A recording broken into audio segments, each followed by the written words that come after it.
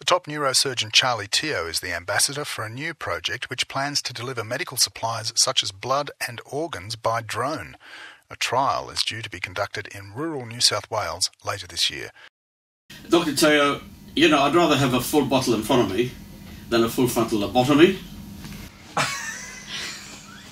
yes, but Rob, how do I know that you haven't had a full bottle already?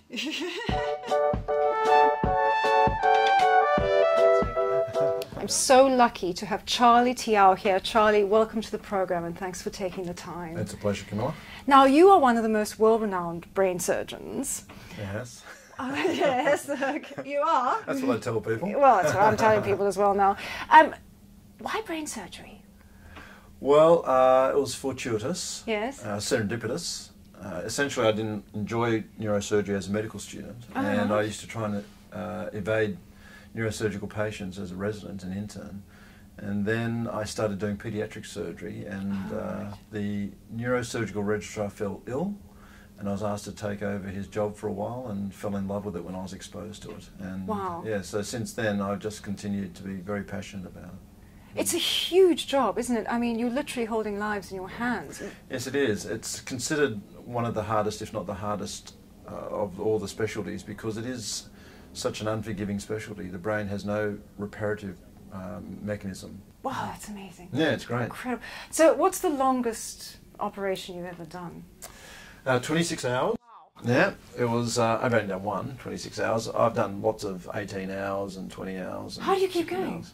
Uh, well, I'm very fit, and you know, you do have to be very sort of fit and very focused. Yeah. and It's, almost like it an is- athlete, isn't it? Yeah.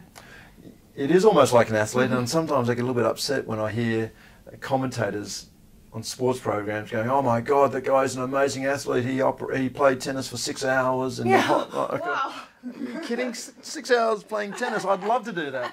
You, you try holding your arms up like this with someone's life in your hands, like for 20 hours, and that that I think is a lot, a lot more challenging. But anyway, uh, yeah, no, you get used to it. You know. Does the modern lifestyle, like the mobile phones and the microwaves, do those have an impact?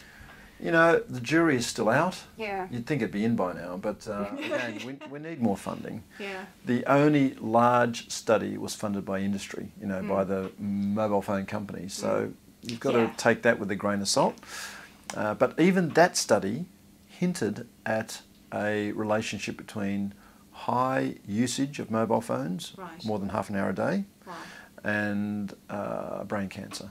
So even the study funded by industry that came out with the conclusion that there was no link, when they looked into these sort of subgroups, they found that there may be a link between high mobile usage and brain cancer. Wow. Mm.